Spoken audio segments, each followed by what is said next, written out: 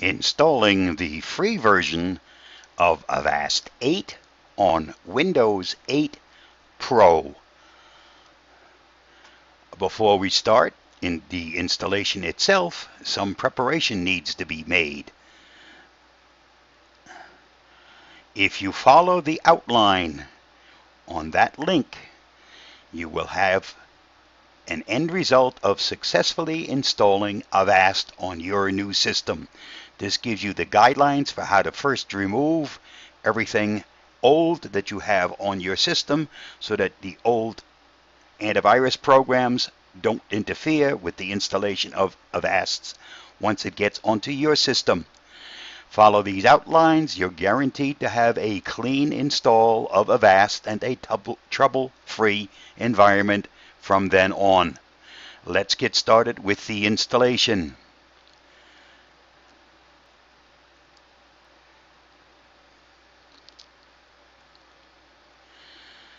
Answer yes.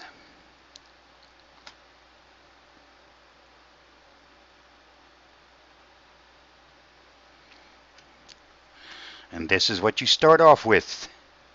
You have a choice the free version, or you may try the Internet Security Suite. We are interested in installing the free version of Avast. As I always recommend, never use Express, always use a custom install so you don't wind up with any surprises. Next, it's always easiest to install the program to the default selected or suggested folder.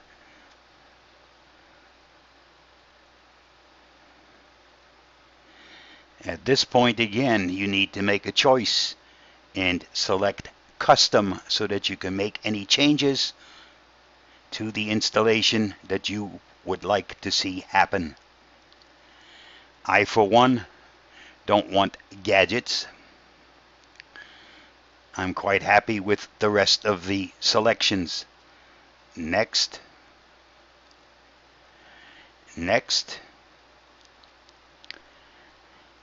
Want to read the user end user license agreement? Click here to get it.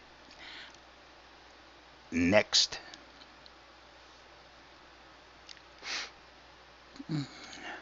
For those of you that are using an Android operating system for your smartphones and your tablets.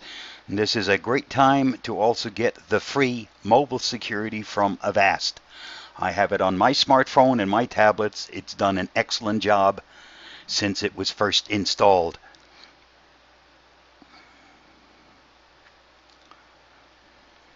This will only take a few seconds.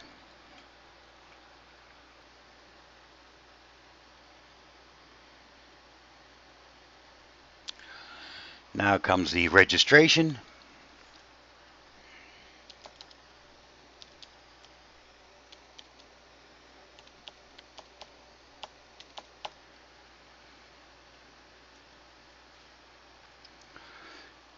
You have a choice. You can register with Facebook, or in my case, I already have several other installations on other computers, so I want to keep a track of all the ones that I have on one account.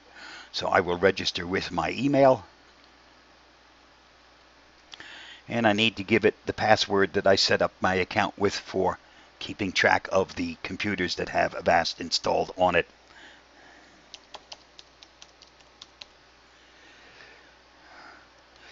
The setup is now complete. And that's why you've got a smiley face. The first thing the new installation of Avast will do is a quick scan of your system to make sure that you have nothing major going on. Once that's completed, you're pretty much sure assured of the fact that you have a fairly clean system. Shortly after the installation and the scan, you'll also wind up getting a little notice that tells you your virus definitions have already been updated and it'll give you the current version of that latest virus definition update. My suggestion is once these two things have occurred, that you at this point reboot your system Since many changes have occurred in the registry, it's always a smart idea to make sure that all those changes take effect, and that will only happen after you've restarted your system. Once the system then comes back up, you're fully protected, and all of the items you've selected during the install will be working for you to keep your computer safe. Enjoy Avast 8.